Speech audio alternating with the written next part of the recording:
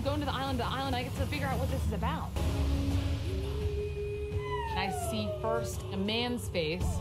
It's a kind of handsome man's face. Sam's a two-timer. Boston Bob's. I mean, I quit my job. I'm excited. Like we're going to have some fun. This kind of looks familiar. Well, Hi! are you excited? Yeah, I'm super excited. These are experts that are coming. How's Hello. it going? Have you eaten anything? Have you had any All of them. watermelon? Where do you... Why is yours so small? Chew on your watermelon. I'm doing it. I'm gonna do it. You start a rumor. I'm thinking twice. I'm gonna. I'm gonna. Laugh. Okay. Ah! We actually have some insight into your next immunity challenge. Oh, that's So listen up.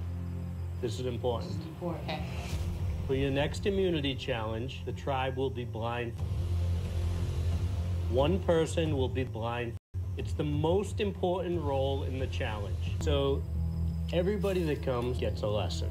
And your lesson today is about watermelon. Oh wow. I need that. I want to give Watermelon. to Natalie. Eric, the tribe has spoken. I think that is what you call a life. Watermelon. you could try to scare someone, put fear into them mm-hmm. to get what you want.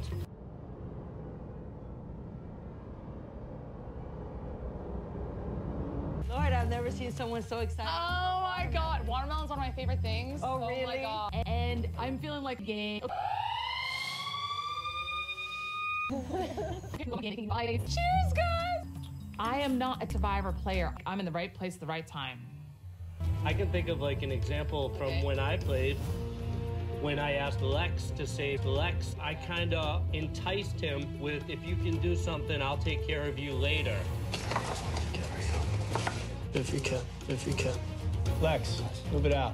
It's very effective, but in hindsight, I ultimately didn't get watermelon at the end of the day. So some would argue Stupid. I love this.